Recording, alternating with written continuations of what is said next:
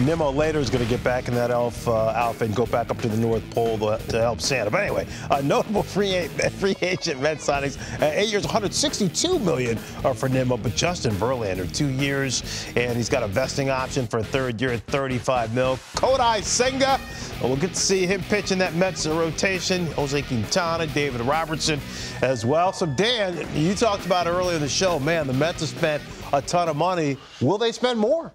I think they will if an opportunity comes along. I still like to see the club add a little bit more power.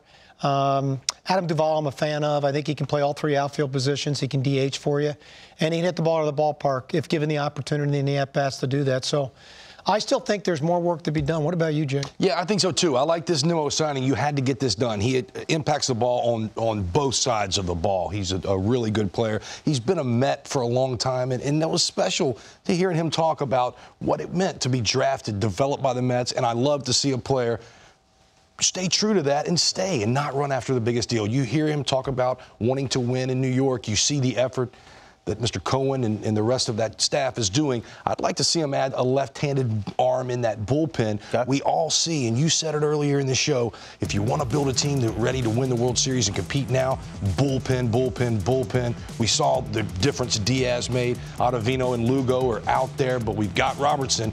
You add a left-hander in there that's a really big name, you really solidify and look like a a team to build off the second You know, place. I, am really excited about three of their young players, too. I know they didn't get many at bats last year, and Baty, Vientos, and their young catcher. I hope they introduce some of those young guys into their lineup this year at some point in time and bring them along, too. Because there's, they're, like the Baty kid is he's a tremendous hitter. He's an incredible athlete. Okay. He's just got to get comfortable playing third okay. base. There's huge upside with him. So anyway, I am excited about their future. And if you're a Met fan, I mean, look, you have to applaud. I mean, your owner and, management in the front, they're doing everything they can to put uh, the best team on the, on the field, see if they can win a World Series.